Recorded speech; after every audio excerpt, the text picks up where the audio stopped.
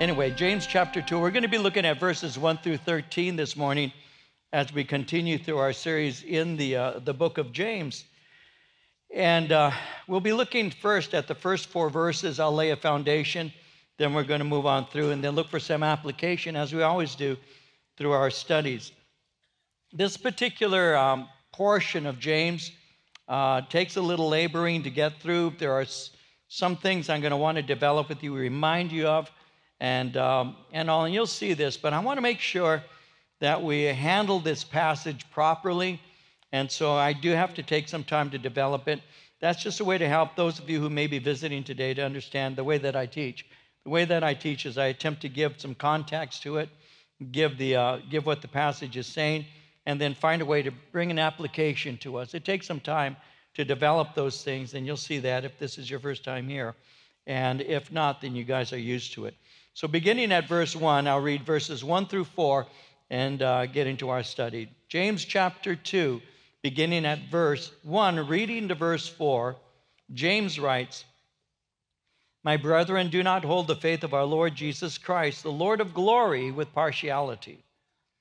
For if there should come into your assembly a man with gold rings and fine apparel, and there should also come in a poor man in filthy clothes, and you pay attention to the one wearing the fine clothes and say to him, You sit here in a good place, and say to the poor man, You stand there, or sit here at my footstool. Have you not shown partiality among yourselves and become judges with evil thoughts? And so, in this section, James is dealing with a problem that existed in the church. And the problem is catering to rich members of the congregation at the expense of those who were poor. Now, he's already alluded to this. When we were in chapter 1, we saw it. Remember verses 9 through 11 in chapter 1, how he'd already begun to speak concerning rich men and those who were poor. In verse 9 of chapter 1, he had said, Let the lowly brother glory in his exaltation, but the rich in his humiliation, because as a flower of the field, he will pass away. For no sooner has the sun risen with a burning heat then it withers the grass. Its flower falls and its beautiful appearance perishes. And then he went on to say, So the rich man also will fade away in his pursuit. So he's already approached this problem of the rich and the poor. He's already spoken concerning that. And he had said that the, uh, the poor should glory in their exaltation, but he said, and the rich in their humiliation. In other words, the poor glory in the blessing of being saved and inheriting eternal glory, but the rich in the voluntary humility that was shown by the receiving of Christ as their Savior. And so, in this chapter, chapter two, uh, James is continuing with the thought and he develops it further. Now, again, I'm going to lay a foundation so we can get an idea of why this is important. Why is James addressing this kind of thing? In a church. So I'll begin by saying this. I'll begin by reminding you that, that it's God's intention for the church to have unity of spirit. And uh, this is something that is built on the love of God, the unity of the Spirit, as well as love for other people. Unity in church is so important that Jesus himself prayed for it. In John 17, verses 20 and 21, he said, I do not pray for these alone but also for those who will believe in me through their word, that they all may be one, as you, Father, are in me and I in you, that they also may be one in us. And then he says, that the world may believe that you sent me. So the loving unity of the church, built on fellowship with Christ, is to be attractive to the world, to those who don't know the Lord. Jesus said that the world might believe that you sent me. Unity is that important. And unity in the church was the earmark in its earliest days. We remember in Acts chapter 2, after the day of Pentecost, the church began to develop a habit. They began to meet together regularly. In the book of Acts 2, verse 42, it says they continued steadfastly in the apostles' doctrine and fellowship, in the breaking of bread, and in prayers. So, this love and this fellowship was built on the teaching of the Lord Jesus Christ, and that united them. And the result was what Jesus had prayed for.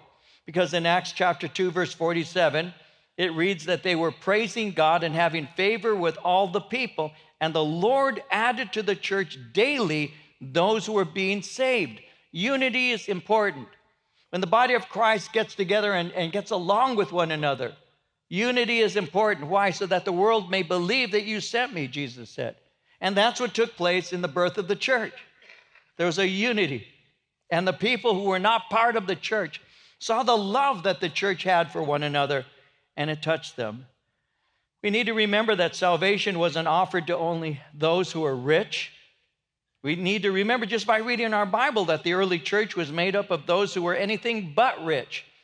Paul in 1 Corinthians chapter 1 verse 26 said it like this. He said, "You see your calling, brethren, that that not many wise according to the flesh, not many mighty, not many noble are called. Not many people of the nobility, not many wealthy people are believers is what he was saying. And so, so he's saying showing favoritism to the rich is divisive. And that's why James is bringing what we call in the, in the church a word of correction. Now, notice how he brings this correction. I'm going to begin slowly and develop this with you, but notice how he, he brings correction. Notice how he begins this verse in chapter 2 at verse 1 by saying, My brethren. Now, why is that important? By addressing them as brethren, he is highlighting their unity in Christ. He's, he's reminding them that they belong together, that they are family. And that's what he's pointing to.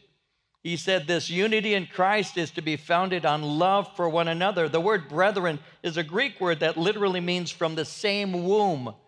We're brothers and sisters, is what he's saying.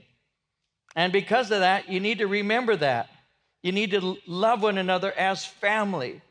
So, unity in Christ is something to be carefully safeguarded. That's because Satan desires to drive a wedge between the family of God. And if he succeeds in doing so, he can undermine the work of God.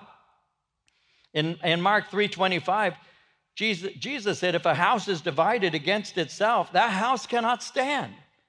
And so the enemy loves to encourage division in churches, to break up the unity, so that he can give the, uh, the church, well, the church will be warring within itself, and the outside watching world will find nothing attractive about church, nothing attractive about being a Christian.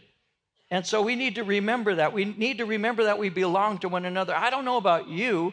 I don't know if I have any in this room right now who are only children, not having a brother or sisters or any. You're just the only one. I'm not an only child.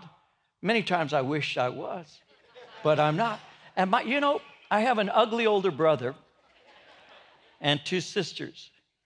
And my dad and my mom did not come up to me and say, David, excuse me, uh, would you mind if we have two more kids? They didn't ask permission. And I, and I wasn't happy about it. As a matter of fact, one of my, my, one of my sisters is here right now, and I'm looking right at her. I never liked you.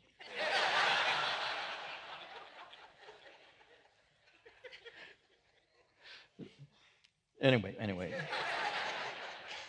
We didn't choose those who we belong to. We didn't, did you? You know, look around the room right now. Think of all the churches meeting together throughout the world. We didn't choose any of them. Some of them you wouldn't have chosen. You'd have said, no, be a Buddhist. You know, you wouldn't have chosen them because we don't choose our brothers and sisters. We just live with them. We just, we just, they just are and, and you, do, you don't get rid of them. You really don't. You know, they're yours, they belong to you. And that's a really important thing to me because family matters. Family matters.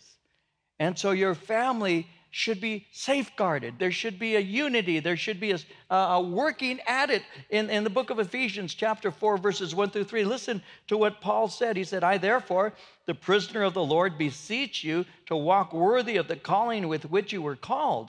He said, with all lowliness and gentleness, with long suffering, bearing with one another in love, endeavoring to keep the unity of the Spirit in the bond of peace. It's something you work at. You love each other and you work at it. And that's something that we need to remember in these last days. You see, when you're born again, God becomes your father, and all Christians become your family. Before you were saved, you were not a child of God. The Bible actually says before we were saved, we were an enemy of God. We were at war with Him. And the gospel is what has been referred to as His terms of unconditional surrender. It's called the gospel of reconciliation. There's a theological word for you, but it's a biblical word. Reconciliation is bringing two warring parties to an agreement so they can have peace. They're reconciled. And the gospel has been called the message of reconciliation.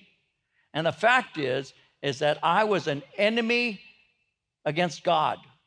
There was a spiritual war where I was on the enemy's side. I am by nature, according to Ephesians 2, a child of wrath. And so I only do those things that are natural for me to do. And what is natural for me to do is rebel against God. But when God sent Jesus Christ to die on the cross, he took upon himself my sin. When he took upon himself my sin, he became the sin offering, the Lamb of God, who took away the sin of the world. When he died, he paid the penalty that was mine, for the wages of sin is death. When he was buried, he was resurrected the third day.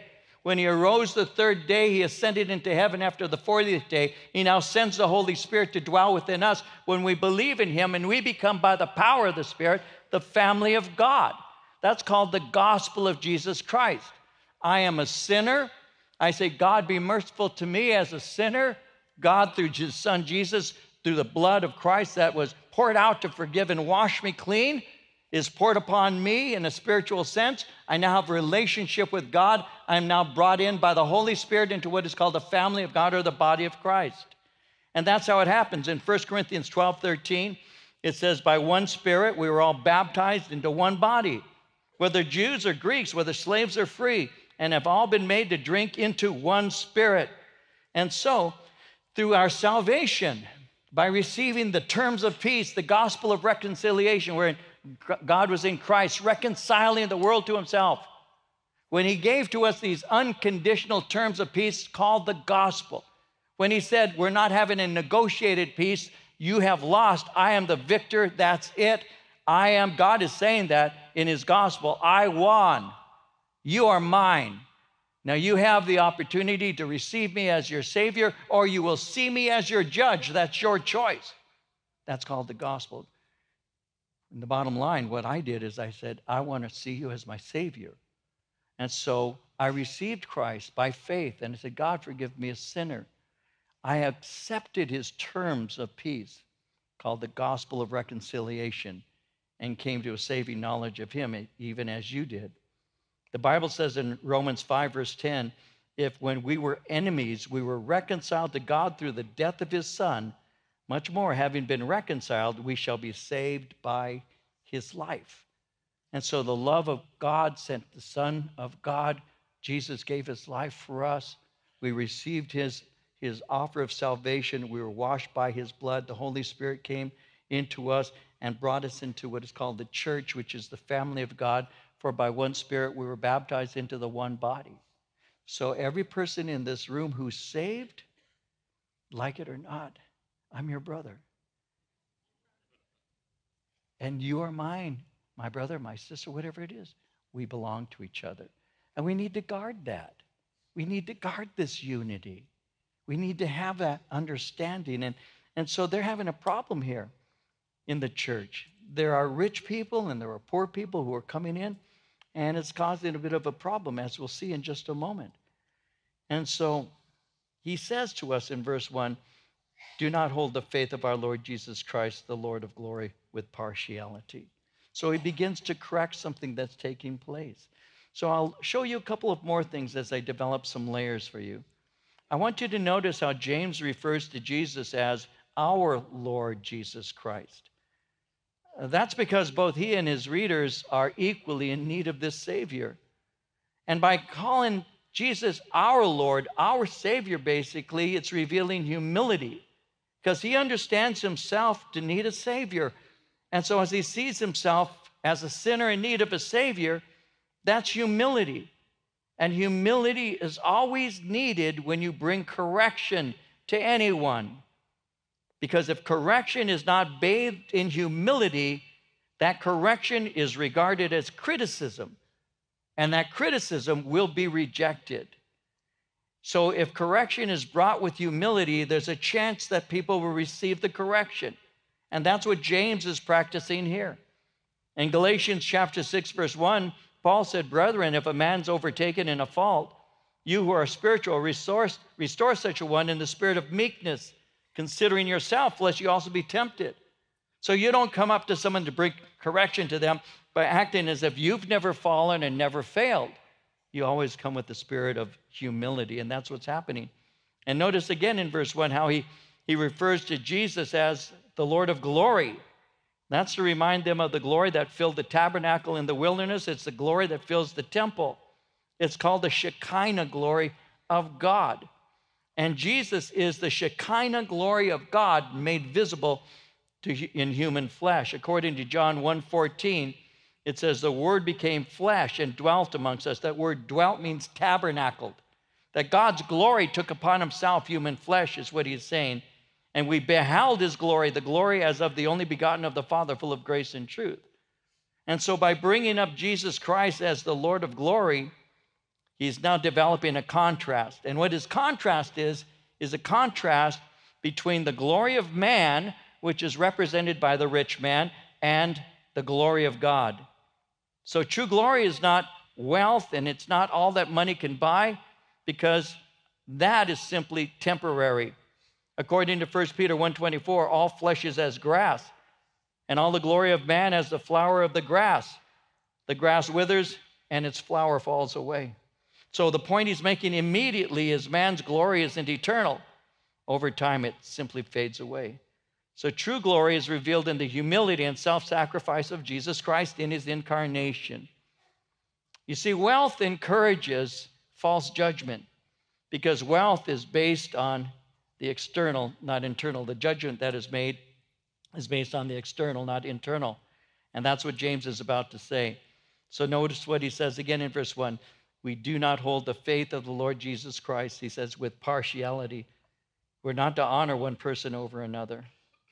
According to Romans 12:10, Paul said, Be kindly affectionate to one another with brotherly love, in honor, giving preference to one another. Not honoring one person above somebody else, but preferring one another. So he's illustrating this. He speaks of a rich man and a poor man, and they enter into the church. And it is, a, is a something, I guess it's, uh, well, not I guess, it's something that's taken place. So let's look at that in verse 2. He said, if there should come into your assembly a man with gold rings and fine apparel, and there should also come in a poor man in filthy clothes, and you pay attention to the one wearing the fine clothes and say to him, You sit here in a good place, and say to the poor man, You stand there, or sit here at my footstool. Have you not shown partiality among yourselves and become judges with evil thoughts? Let's look at that for a moment. I want to develop this with you because as I was reading this, He's speaking about a rich man coming into church. That's obvious. But notice how he's described in verse 2.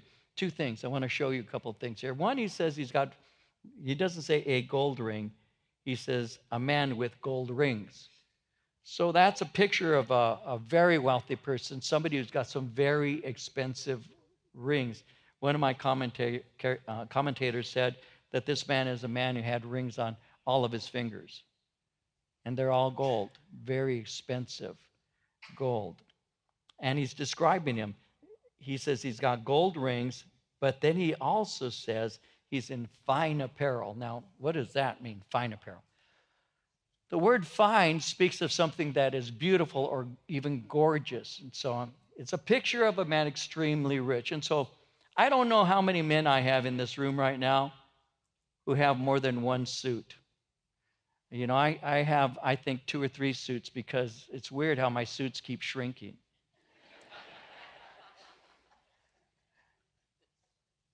but I don't have many suits because I only wear a suit once a year on Easter. And whenever I wear a suit, I'll always have one of members of our fellowship walk up and say, Hey, you got a suit. Because I only wear it like once a year. If I do a wedding, a funeral, of course I have a suit, the same suit.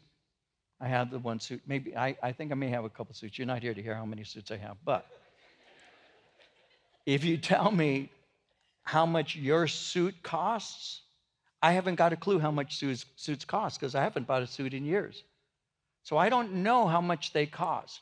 So if you said to me, and, and again, some of you who know, you're going to go, what? But if you say to me that your suit costs you $300, $400, in my mind, that's a lot of money for a suit. I, I would think that maybe it's not. So, anyway, I'm preparing this Bible study, and it says in verse 2 again, this is a man with gold rings in fine apparel. And then I start looking up what does the word fine mean, and the word in the Greek means gorgeous. It means some very expensive. Now my mind starts working so I can figure out, well, what does this really mean? So I began to look at the most expensive suits that you can buy. Here you go. You ready for this? I've heard of Brooks Brothers.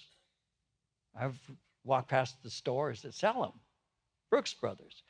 Some of you guys don't know this. I didn't know this. So I looked, how much is a Brooks Brothers suit? Do you know that Brooks Brothers suits $14,500? It's a lot of money. Okay, I'm glad you guys made that sound. $14,500 for a suit. I thought, you gotta be kidding me. But Desmond Merrion Supreme Bespoke, that's the name of a suit, $47,000. Okay, now we're getting a little more expensive. Alexander Amosu Vanquish II Bespoke, $101,860. So I bought one and I bought my two sons. No. but here's the, here's the kicker Stuart Hughes Diamond Edition suit. I'll give you a second to think. Okay, you thought $892,000. So I bought one. No, $892,000. That's a number that's too big for me to imagine. You could retire on that or wear a suit.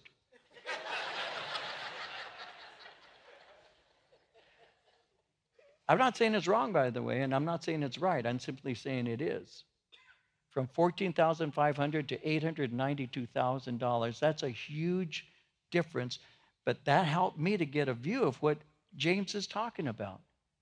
He said, Somebody comes walking in wearing gorgeous apparel. He's not speaking about someone walking in with getting, you know, wearing a suit from the rack somewhere in Nordstrom's or wherever. He's saying this is a person who went to and bought clothing that the minute you see it, and here's okay, I'll say this, this may be stupid, but I'll say it anyway. I I don't have an eye for value like that. Not that I couldn't, I just never developed it. I just never did. I don't have an eye for that. I'll think, oh, that's a nice suit. I don't know how much it costs. And, you know, now my wife can tell you, oh, that's nice. My wife's able to do that. She'll say, oh, that's a very nice purse. And I'll say, yeah, but that guy's shoes don't match his purse. No, I don't say that. She'll go, she'll say, that's a nice purse. And I'll go, oh, okay. She'll say, It's this kind of purse. And I'll go, Oh, really? I know nothing about that stuff. It's just never been part of what I was interested in. But I know there are people who do, do, do know that. I know there are people who work as clothiers. They, they're, they're salespeople or perhaps what they have jobs, businesses. I, I get it. I just don't understand that. So, me, if I were an usher and you walked in with a nice suit, I wouldn't be able to tell the difference. I wouldn't really know. I really wouldn't. So, but this person who's walking in is described as somebody who's wearing gorgeous clothing so that everybody knows, and the ushers do too. That's the point he's making. The ushers will see this guy walking in wearing fine apparel. They look at his hands, and these very expensive rings are on every finger. This guy is a very wealthy man. And that's what he's speaking about. But coming in behind him, and look at the description of the other person, it simply says that he's a poor man in filthy clothes. The word filthy there is a word that really speaks of being shabby. It's a, not shabby chic, it's shabby. The guy's walking in wearing raggedy clothes. That's the picture. And if this isn't just an illustration, James is dealing with a problem. Because when the ushers or those in charge see this very well dressed man, the first thing they do is they say, Oh, sir, come here. We have preferred seating for you. And they put him in the front row. They put him somewhere so that he is not only able to see well, but is seen because the church values all the kind of attention that a wealthy person brings to their congregation because they can point to, oh, by the way, so and so is in our church and they're buying or getting credit for that. You will be surprised, or maybe not, how the church reacts to the extremely rich sometimes. It's very sinful. James is dealing with it 2,000 years ago. It goes on to this day. In this fellowship in the past, I can still remember, and I'll, I'll make it as, as non detailed a story as I can make, but somebody came in and was brought to me. They brought this person to me. And they said, Oh, I'd like you to meet so and so, fairly, I guess, fairly well known. I didn't really know. And that they, want, they, they wanted me to show special attention to this person. That's, that's, and I didn't. That's, I said, Raul, go to your own church. No, that, that, that's, you get attention there. Um, no, it's the kind of thing that that is so normal. This guy's a very wealthy. Well, yeah, what can he do for me? Oh, he's a giver. How can I make him my friend? Get his number, get his email. You know, we'll let him know we have needs. That's kind of how it works. Oh, that shabby guy over there wearing dirty clothing, you can sit in the back or stand against the wall. That's what was happening. Now, again, remember the foundation of this study, how I was pointing out that unity is to be guarded.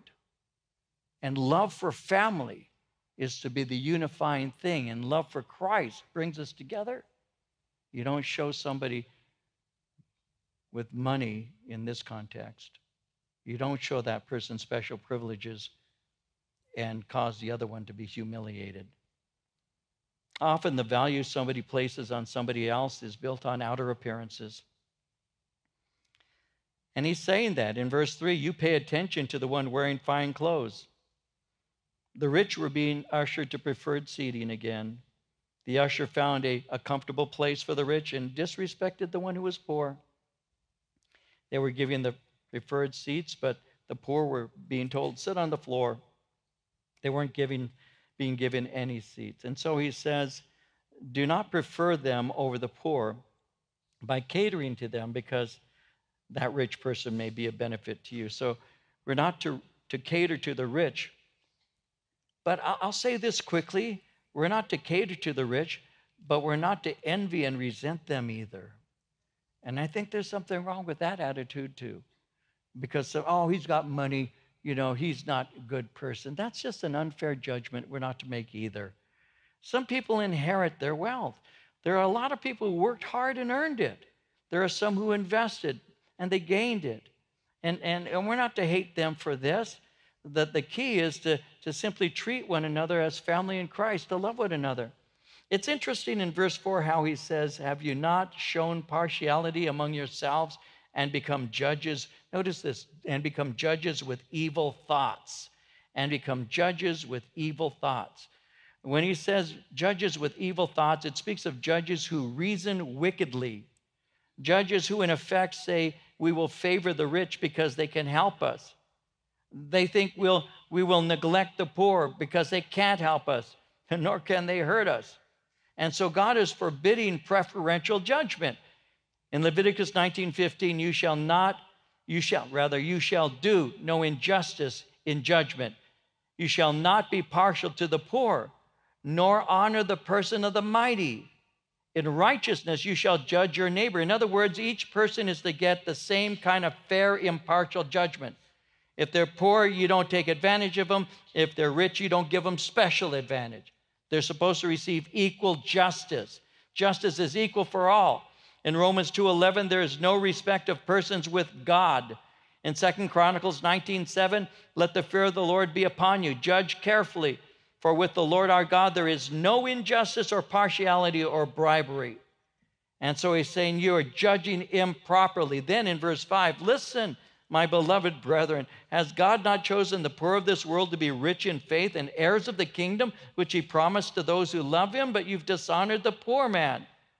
Do not the rich oppress you and drag you into the courts? Do they not blaspheme that noble name by which you are called? And so he begins to make his case here and to remind them of some very basic things. So he's, as we look at this, I'll point this quickly. He's not exalting poverty over financial wealth. Tozer said it like this, and he's writing in the in the 50s, so his his his way of saying this is kind of archaic. But Tozer said, "If to be poor made men holy, every tramp on a park bench would be a saint." So he's not saying that, that, oh, you're, you're poor, therefore you're better. He's not saying that. He's making a contrast in order to, to make a point. He's saying that the world generally chooses those who are rich, but God chooses those who are rich in faith. James isn't ignoring the reality of poverty and that the poor have real needs. What he is doing is attacking the world's value system. In Proverbs 13, 7, it says, There's one who makes himself rich, yet has nothing, and one who makes himself poor, yet has great riches.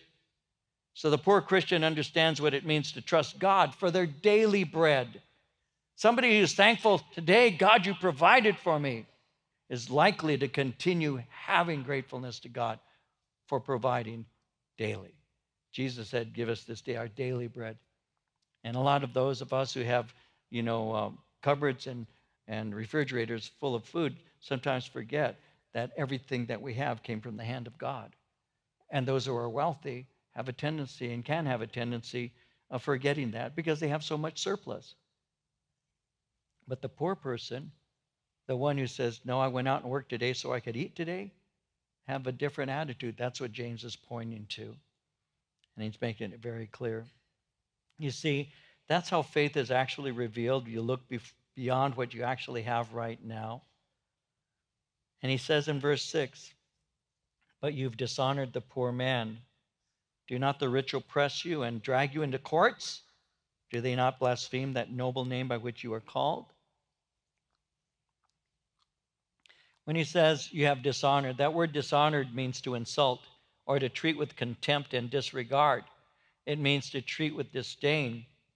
He's saying that the, the poor believers were being taken to court by rich people who lorded it over them. And he's saying, These are the kind of people that you choose to honor. The ones who are doing this. Notice verse 6 they oppress you. When he says they oppress you, they treat you wrongly, they mistreat you. You can't defend yourself. Notice he says they drag you into court. In other words, they take them to court to collect from them anything that is owed. And these poor people couldn't pay their debts. And then they say, he says, Do they not blaspheme that noble name by which you're called? They considered Jesus worthless and faith in him to be ridiculous. And he says, If this is so, why do you want to be like them? Let me say something that's going to show, reveal something to you that shows the difference of generations. I'm going to use a generational il- illustration. Those of you who are a bit older or older, You'll understand this. Maybe you who are younger, you may not to the same degree. It's a generational illustration, but it's still an illustration I'd like to use. Excuse me. Um, when, I, when I was a young kid growing up, there was a term that used to be used. It was called Hollywood values. I don't know. How many of you have even heard that term? Hollywood values. What were Hollywood values? Well, in the 50s and 60s, when you said how they got Hollywood values, it was always a disparaging comment on the values that were produced uh, in, in, from Hollywood, which was regarded as the ones who were purveyors of, of, uh, of culture, of modern culture. The movies and the music that was generated from Hollywood and the various um, stars and musicians and all, well, the common people of the day looked at those values as being offensive. And the reason they did is very simple. It's because somebody in the movies, uh, well known, was they very often had two or three different husbands or wives. They, they didn't see the value of, of raising kids. They, they, they were into alcohol. So they had values that the average American didn't have. See, that's an old illustration that the younger people in here wouldn't, you probably don't really understand or get. It's because our society had a different morality that was its general morality. And so my mom would say, oh, they had Hollywood values. And that was really a negative. That was saying that these people in Hollywood don't love their family, don't love their marriages, they're, they're not good role models. There were actual laws that would prohibit people from uh, coming from from foreign countries and entering in even on passport to spend some time here. Ingmar Bergman was a, an actress and she was looked at as being an undesirable alien. There were actually laws that did not allow her to come into the United States on one occasion because she was known to be having an affair with an Italian fella. And they said she is an undesirable. We do not want that kind of influence in the United States. Now, I'll let that set for a moment because it's shocking, isn't it? It's shocking. Americans today are so used to immorality. Where did we get our cues from? Who are our heroes? Who did young people listening to young artists that like this music and they say, I like that? Where did you get your values from? Especially when we say, Oh, I like this person because they say it the way it is, and yet this person blasphemes the name of Christ and people get m- more angry if you use the Q word now. If you said, and I'll use the word queer, if you use that word, people get really mad. But you can take the name of Christ in vain and nobody cares. What has happened, guys? That's called Hollywood. Now, that's that one. Yeah, that's called Hollywood values. And that's that was wrong. And this is the point that James is making. No, he's not talking about Hollywood but he's making the point. It's very simple. He's saying, You honor the wrong people. You're honoring the wrong people. He says, These are the ones that oppress you. These are the ones that drag you into court. These are the ones who blaspheme Jesus' name, and you want to be like them. That I think the church needs to remember today. I really do. We have a tendency of honoring the wrong things. And that's the point. He's saying, Why do you desire to be like them when you consider what they do to people like you? It's a good question. It's a good question. Why are you honoring somebody who memorizes a script and acts it well, or sings somebody else's lyrics and does it well? Why do you want to be like that? Because all they're really doing is speaking somebody else's words and they do it well. Why is that something? Why is that something that we will have these people come and give testimony in Congress and all as if they're experts? Because they can say, I'm not a doctor, but I play a doctor on TV. And they've said it. I'm not a doctor, but I play a doctor. Oh, that's nice. So I'll listen to you, doctor, whatever. And they're not even. But that's what's happened, guys. That's what's happened and we take our cues from people who dishonor the Lord. You know, rich man comes in, he's going to drag you to court, but you usher him to the best seat because he may help you in the future. The poor man who has no help or no harm that he can give you, go stand over there. Go sit back there. These things ought not to be so, is what James is saying. Why? Well, he goes on. He says in verse 8, if you really fulfill the royal law according to the scripture, you shall love your neighbor as yourself, you do well. But if you show partiality, you commit sin and are convicted by the law as transgressors. Now, when he says the royal law, you shall love your neighbor as yourself, that is a command that you find repeated something like six times in the Bible. It's the command to love others. But let me say something, and I'll say this briefly. It's a command to love others. Read it. You shall love your neighbor as yourself. Back in the uh, 70s into the 80s, pop psychology began to invade theology. And what we did at that time, what was being done that time, at that time was you was the teaching that all of you are familiar with now, and many of you may even believe, where it says, well, you're to love yourself because if you don't love yourself, you can't love somebody else. All of us have heard that. If you don't love yourself, you can't love somebody else, right? We've heard that. And then they say, Did not Jesus Christ say, Love your neighbor as yourself? And so, in saying, as you love yourself, there's an inference that there's a love I'm to have for myself. Well, it's interesting how that the Lord was asked, What is the great command of the law? And he immediately responded. In Matthew 22, 35 through 40, one of them, a lawyer, asked him a question, testing him, saying, Teacher, what is the great commandment in the law? And Jesus said to him, You shall love the Lord your God with all your heart, with all your soul, with all your mind. This is the first and great commandment. The second is like it. You shall love your neighbor as yourself. On these two commandments hang all the law and the prophets. And so people said there's an inference that you're to love yourself. So they took two commandments and made them into three. But Jesus said these two commandments. Now I'll just take a moment to share this with you because it's the plague of, of our society today. You don't have to be commanded to love yourself. You already do. You already do. No, I don't, Pastor. I'm real humble. No, you're not. If I took a picture of all of you at one time, what's the first person you're going to look for? Oh, there's me. Look, my eyes are closed. The first person. That's what you're going to do. Oh, look at my mouth was open. There's all these people, but what do you do? I'm sitting, oh, there I am. You love yourself. You really do. So much. And me too, of course. Of course. I love myself. Of course. I do. I confess that. But Jesus said that's the problem. You love yourself so much, you don't love your God and you don't love your neighbor.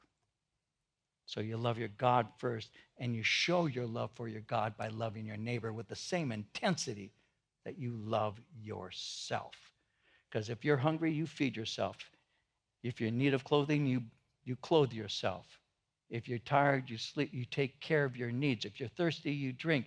And Jesus is saying, This is what you do. No man, Paul said, no man has ever hated his own flesh, but he nourishes and he cherishes it. We take care of ourselves. You, know, you say, No, that's not true, Pastor David. Really, you don't think so? No. Okay, so let's see if I can illustrate this. You say, I hate myself because I'm ugly. I hate myself. I'm ugly. No, if you hated yourself, you would be glad you're ugly. right? You would. You'd be glad. Because if you got somebody you don't like, the uglier they are, the better. It's just common sense, man. No, you love yourself. That's why you do what you do. And that's the whole point. So, man, that's just a sub point to a point. Bottom line is if you keep the royal law, which is love your neighbor as yourself, that's the basis. Care for that poor person and don't overly respect that rich one because the church is a family. They're to be united. All of you stand before God equally. He doesn't respect your person. If you have finances and He made it possible for you to have it, you use your finances for the glory of God. You have no finances, you use your life and that which you have to make available to Him for the glory of God. So the rich man and the poor man, the rich woman and the poor woman equally stand before God, yielding to Him that which He deserves. And He says, So stop showing special favor to the rich person walking in and showing disfavor to the poor person that you're disrespecting. They're both made in the image of God. Treat them as the same. And that's what the church is supposed to do. And that's called the royal law, the law of God, the law of love. Love your neighbor as yourself. That's what James is pointing out to us. It's very basic, but it's true because if you show favoritism, you're breaking God's law. In Romans 13:10, love does no harm to a neighbor. Therefore, love is the fulfillment of the law. And then finally, verse 10 For whoever shall keep the whole law and yet stumble in one point, he's guilty of all. For he who said, Do not commit adultery, also said, Do not murder. Now, if you do not commit adultery, but you do murder, you have become a transgressor of the law. So speak and do and so do as those who will be judged by the law of liberty. For judgment is without mercy to the one who has shown no mercy, and mercy triumphs over judgment. And so, as he rolls to a conclusion, to break one precept is to defy God who commanded all precepts of the law. In Galatians 3:10, all who rely on observing the law are under a curse. It's written, Cursed is everyone who does not continue to do everything written in the book of the law. In other words, you cannot excuse one sin by pointing to hundreds of acts of goodness because the law of Moses is a unit, not individual commandments. And this is why it's important to receive forgiveness for your sins because it only takes one sin to bring judgment upon you. In Romans 6:23, the wages of sin is death, but the gift of God is eternal life in Christ Jesus. And according to Hebrews 9:27 and 28, just as man is destined to die once and after that to face judgment, so Christ was sacrificed once to take away the sins of many people, and he will appear a second time, not to bear sin, but to bring salvation to those who are waiting for him. And that's why in verse 12 he says, Speak and so do as those who will be judged by the law of liberty. The term law of liberty was found in chapter 1, verse 25. It's another way of speaking of the gospel. It speaks of God granting us his perfect love by saving us. The gospel reveals this love to us, and because of it, we live in freedom. In John 8 32, you shall know the truth, and the truth will set you free. So, being judged by the law of liberty speaks of rejecting the freedom offered by Christ. It's rejecting the gospel message. And notice in verse 13, judgment is without mercy to the one who has shown no mercy. So, after speaking of making judgment on the poor, James says, doing so reveals no mercy. Since Christians have experienced God's mercy, we extend it to others. Because if we don't, it reveals that we have not fully understood the mercy that was shown to us. How much mercy has the Lord given to me and to you? Then who am I to not show mercy to somebody else? You know, that's where a lot of us, and I'll stop here, but I'll develop something here with you for a minute. I have I've spoken to many people over the years who when they hear Bible studies like this, the, first response that they have is, You don't know what they did to me. I, I, I, I sympathize, I really do. I don't want to stand up here as somebody saying, Oh, you're bad for that.